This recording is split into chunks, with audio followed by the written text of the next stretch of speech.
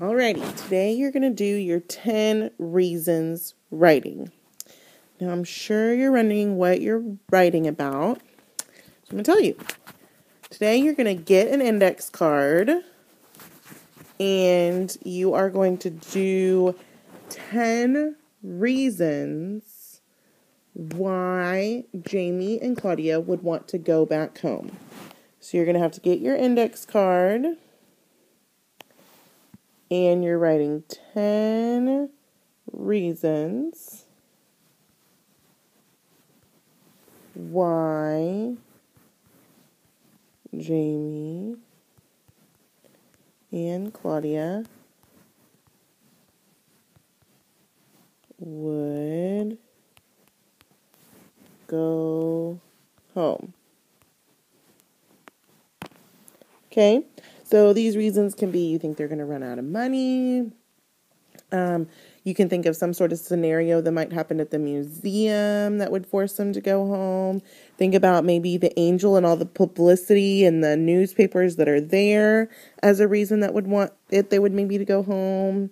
In chapter 5, they talked about being homesick. Maybe that's a reason. So you need to think back to the past 5 chapters and think of some things that have happened or that could happen that would force Jamie and Claudia to want to go back home or need to go back home. Okay, so you need to number your reasons, 1 through 10, of reasons why Jamie and Claudia would go home. We're halfway through the book, so we know something is going to happen here pretty soon that's going to tell us whether they're going home or not going home. We're about to hit that climax part of the story. So I want you to decide top 10 reasons why Jamie and Claudia would want to go home. Write them on your post it. After you write them on the, your post it, you need to make sure, make sure, make sure that, I don't know if you know what I'm going to say, but after you write your top 10 reasons, you need to make sure you write on your post it, or not your post it, your index card, your name.